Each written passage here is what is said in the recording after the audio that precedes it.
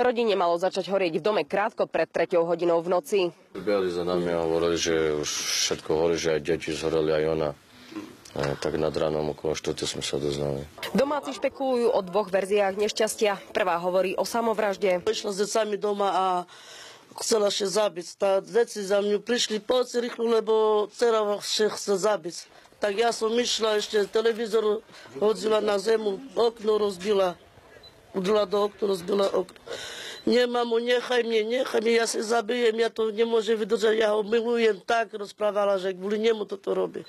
A ja som jej vypovedala, nezrob, však malé deci máš ešte, čo robíš, nerob nič. Pred týždňom ešte ju zbil, že zrobil monokly pod očami a ona to nevyniesla a išla domov. A ona to nezvládala, ona bola psychicky na nej, ona brala veľa tabletky no a nevieme, že čo. Druhá verzia je, že pod nešťastie sa podpísali silné mrazy a piati ľudia uhoreli v dome pre požiar z provizornej piecky. Na mieste zasahovali hasiči a záchranári. Štyrom maličkým deťom a ich matke žiaľ pomôcť už nedokázali.